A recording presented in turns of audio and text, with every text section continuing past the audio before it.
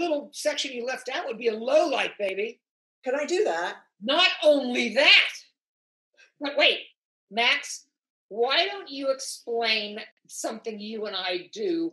So, a lot of times, what we will do is we'll, like in a standard highlight, right? You come along and you do your weave, and you take that top section and we actually clip it out of the way, take the bottom section, lay it in foil, put our darker color on that, close it up, and then release that top section and put our lighter color there so that they interlock.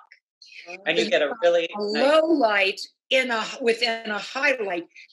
It gives it. That's what I have here, Vivienne. But I know you can't see. See, my my high my highlight here is jumping with low lights. Do you see? It's not just one yellow red stripe. But yeah. anyway, you, this is such a good question you asked because I didn't know. Okay, I can do that then. Just yeah. Or you could wrap it in conditioner. I always like to wrap them in conditioner, but you're fine. Okay, so now I will take my other weave. Will I weave it up or will I take it down and weave it? Let's do this. Let's teach you how first how to fold a foil. Oh, okay. Fantastic.